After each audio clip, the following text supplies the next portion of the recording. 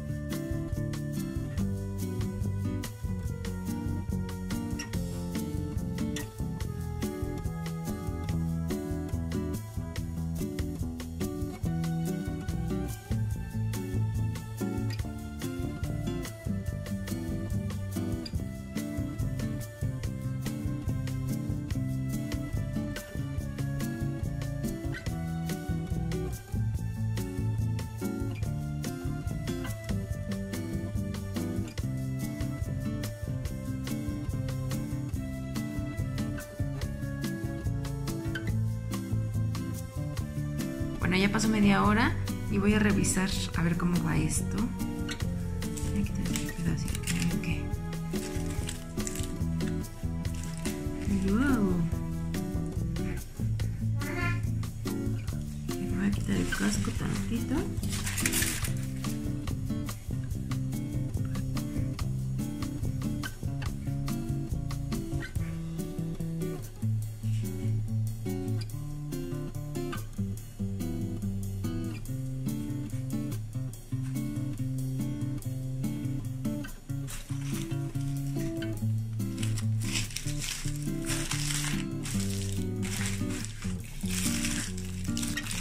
Y bueno, al ratito regresamos.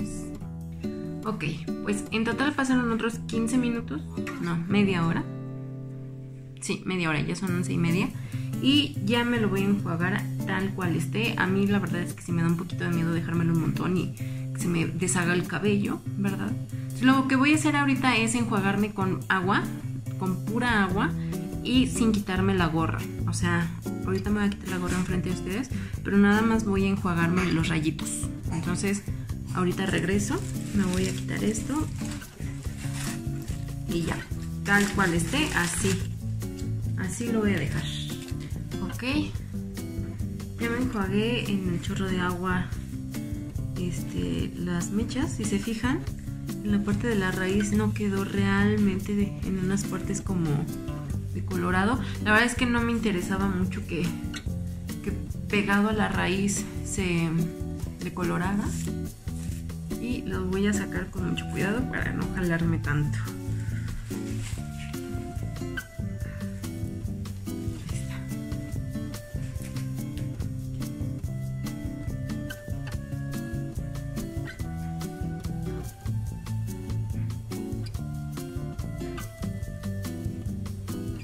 Si se fijan, pues obviamente queda muy amarillo, pues no los maticé ni nada.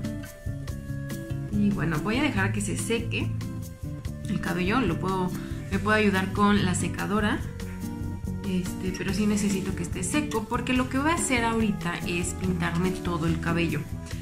Lo interesante es que voy a utilizar este producto de L'Oreal que es un eh, color es el 5.23 y se llama Smoky Rose, que, bueno, si lo traducimos, bueno, aquí viene la traducción, dice castaño claro iri, irisado dorado. Se supone que tiene eh, eh, reflex, o sea, así como destellos o algo así, de, en color rose gold. Y la verdad es que me encantó cómo se le vio a la muchacha. Obviamente no me parezco la muchacha, ¿verdad? Pero mm, dije, vamos a ver. Y, me, y le quise dar este toque con los rayitos para que eso se vean un poquito más claros. Y este, a ver qué tal queda. Ahorita voy a sacar el cabello y ahorita vengo a eh, ponerme el tinte aquí. Ok, ya saqué todo lo de la cajita y viene eh, el botecito con el agua, este no sé cómo se llama. Viene el color y viene el tratamiento después que se pone en la regadera. Obviamente viene el instructivo y en el instructivo vienen pegados los guantes. Ahora estaba leyendo que, em, que hay dos opciones, el de aplicar en todo el cabello como por primera vez y el de retoque de color. Eh, en el de la primera vez dice que apliques en todo el cabello, o sea, desde raíz, medios y puntas. Entonces lo voy a aplicar en todo el cabello. A ver qué pasa. Y bueno,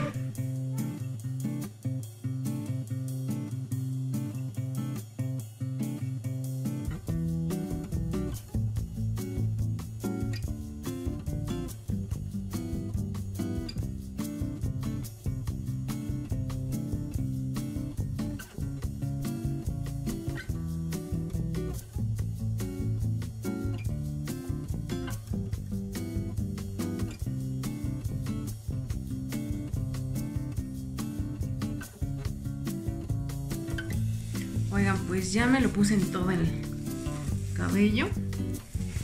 En la cámara, no sé si se anote apreciar, miren aquí en mi entrada.